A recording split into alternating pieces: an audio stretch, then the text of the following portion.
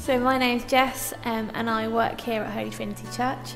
I uh, was a student at De Montford, so I came to Leicester five years ago. I came here to study textile design um, and I've been here ever since. So once I'd done my degree, um, I was starting to think about what I was going to do next, so towards the end of my third year.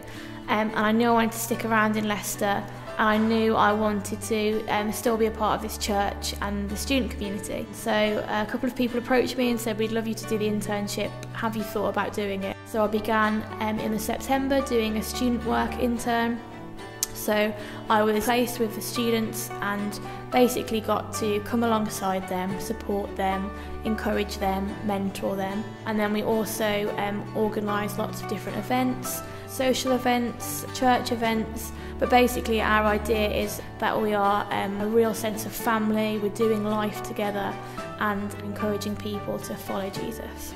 Obviously becoming a leader of a community meant I really had to step it up in terms of um, stretching myself and stepping out of my comfort zone. And so that was something that, I, that happened when I became a student intern. I received teaching and training um, here in this building on a Monday and that really deepened my faith and really strengthened it. And that job was media and communications administrator.